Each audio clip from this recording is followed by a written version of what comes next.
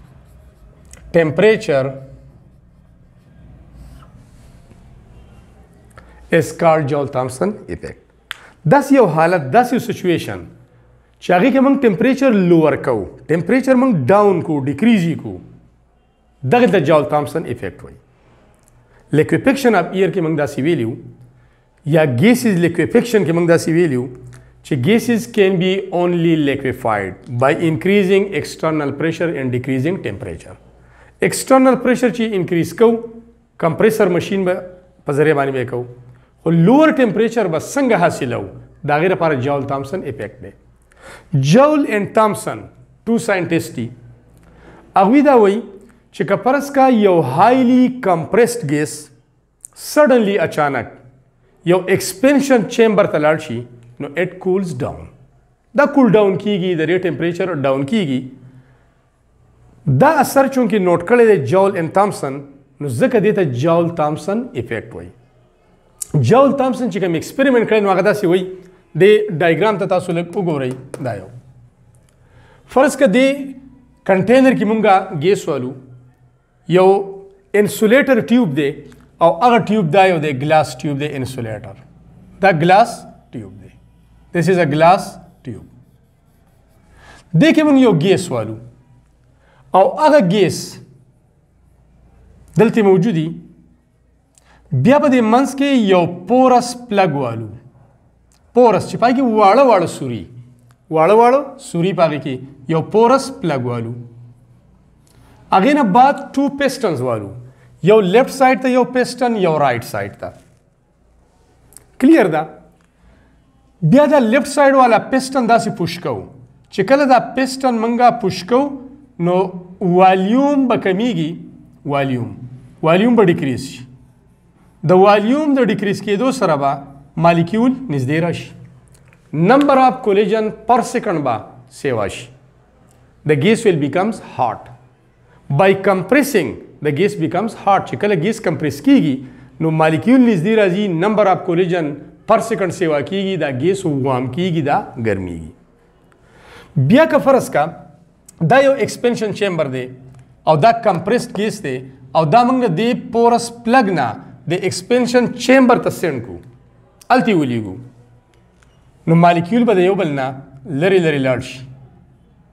سپیس ته ډیر میلاو شو دې ځای کې مالیکیول په کمپریسډ فارم کې وو ګیس کمپریسډ فارم کې وو مالیکیول نږدې وو څه نه څه اټریکشن کریټ شوی اوس مالیکیول ته لارج ځای میلاو شو لارج سپیس ته میلاو شو ایکسپنشن چیمبر میلاو شو دا به التی ځي چې التی ځي نو دا به یو بل لري لري ځي د دې دا انټر مالیکولر اټریکټیو فورس به بریک کیږي چې دا فورس بریک کیږي د لپاره خو انرژي پکاري د دې ګیس خپل انرژي به یوز شي پر بریکینګ دیس انټر مالیکولر اټریکټیو فورسونه دی انرژي به کم شي چې کم شي نو ټمپریچر به ډاون شي بیا به دا ګیس مونږه کمپریس کو بیا به ایکسپینشن چیمبر ته سند کو نو د کمپریشن سره به ګیس هاټ کیږي او د ایکسپینشن سره به کول ډاون کیږي بار بار کمپریشن اینډ ایکسپینشن سره دا ګیس بیا لیکوډ فارم ته کنورټ شي او موږ لو ټمپریچر په دې طریقه حاصلولی شو د دې اگزامپل زموږ سره څه دی فریج ریفریجریټر په فریجز کې کمپریسر لګېدلی او په دغه فریجونو کې یو ګیس استعمالیږي هغه ته فریون ګیس وایي ډای کلورو ډای فلورو ایتین ډای کلورو ډای کلورو ډای فلورو او ایتین ډای کلورو ډای فلورو ایتین ډای کلورو دو کلورین ډای فلورو دو فلورین او ایتین ټو کاربن کنیکټډ بای ډبل بانډ دا ګیس یوز کیږي د کمپریسر دا کار دی چې دا فریان ګیس کمپریس کی نو دا ګیس وارم شي هاټ شي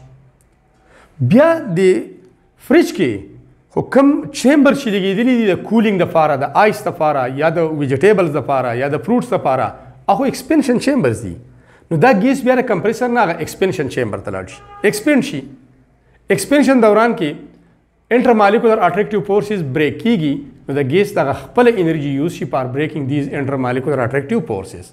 ټمپریچر لوور شي چې ټمپریچر لوور شي بیا کمپریسر ته راشي بیا هارډ شي بیا غ ایکسپنشن چیمبر ته لاړ شي بیا کول ډاون شي بار بار کمپریشن بار بار ایکسپنشن سره هغه ګیس چې دی نو هغه لیکوډ فارم ته کنورټ شي چې لیکوډ فارم ته ګرم شول او ټمپریچر لوور شي بار بار کمپریشن ایکسپنشن سره ټمپریچر لوور شي چې ټمپریچر لوور شي په هغه فریج کې واټر آیس ته کنورټ شي او کم چې ویجیټیبلز دي یا فروټس دي نو هغه په کولډ فارم کې په لو ټمپریچر باندې موجود دي کله چې موږ فریج په بیګ فریج په بیګینینګ کې آن کو نو کولنس نه کاس کوي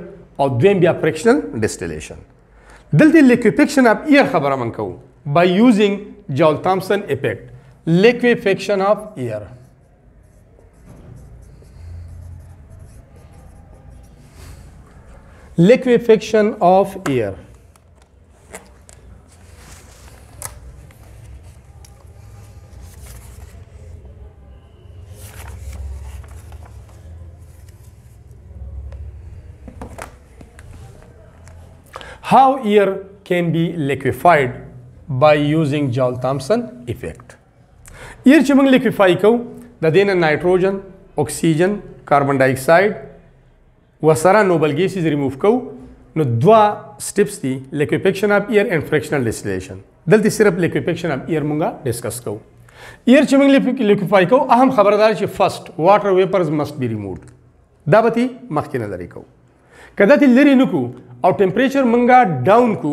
0 ډیګري سی پورې راشي نو واټر ویپرز با کنډنس شي بیا هغه نه بعد به فریز شي په 0 ډیګري سی دا به آیس ته کنورټ شي دا پایپس بلاک کوي نو اولنې خو اهم سټپ داري چې دینه به واټر ویپرز منګه ریموو کو د ایئر مست بی ډرای دا په ډرای فارم کې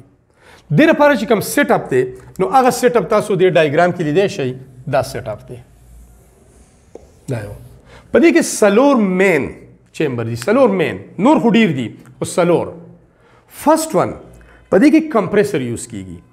او هغه کمپریسر چې د لپاره چې دا ایر کمپریس کی دا غي سره به ایر هارد شي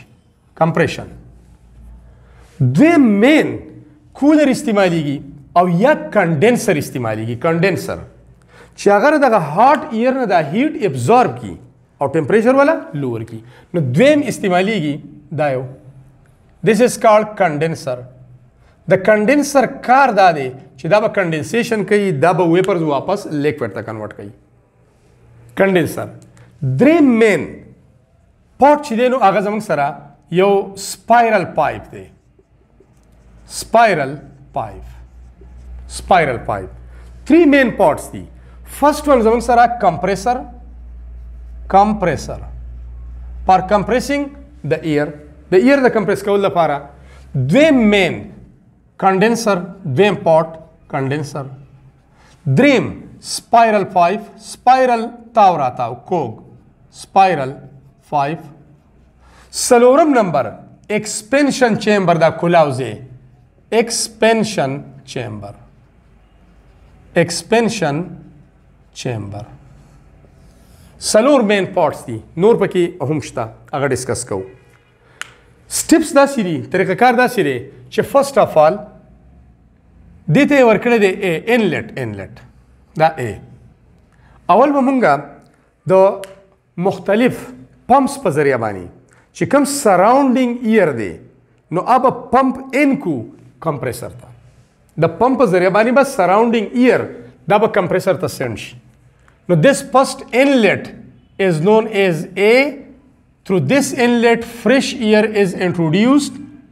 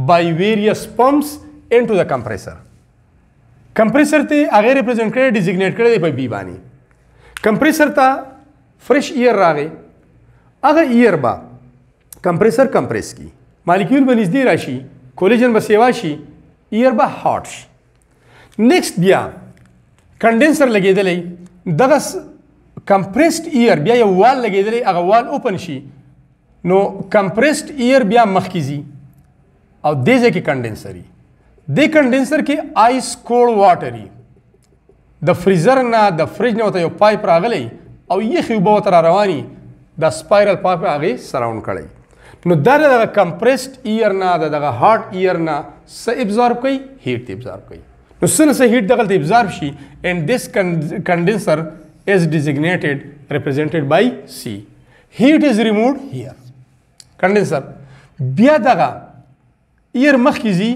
او بل یو انلټ دی هغه په ډي باندې ریپرزینټ کړی دا غي په ذریعہ باندې دا انټر شي نو دې ځکه دا غي نه دا واټر ریموف کیږي دلته چې کوم کنډنسیشن وشو واټر ویپرز لیکوډ ته کنورټ شو نو هغه واټر دلته ریموف کیږي که پرس کاغه ریموف نشي او مزید دلته ټمپریچر ډاون شي دا پایپ بلاک کوي دلته یو ټیپ لګیدلې ټیپ هغه ټیپ اوپن کی نو هغه لیکوډ واټر ته مونږه ریموف کو بیا مزید هغه کمپریسډ ایر راشي دلته سپایرل پایپ ته راشي هغه سپایرل پایپ کې دا سلو مومنټ کې سلو مومنټ کې داسي کمپریسډ ایر په دې سر کې دا یو جټ لګیدل جټ او هغه جټ ریپرزینټ کوي په سمانی په جې باندې یو جټ لګیدل دی په جې باندې ریپرزینټ کیږي نو دغه کمپریسډ ایر ایکسپنشن چیمبر ته لاړ شي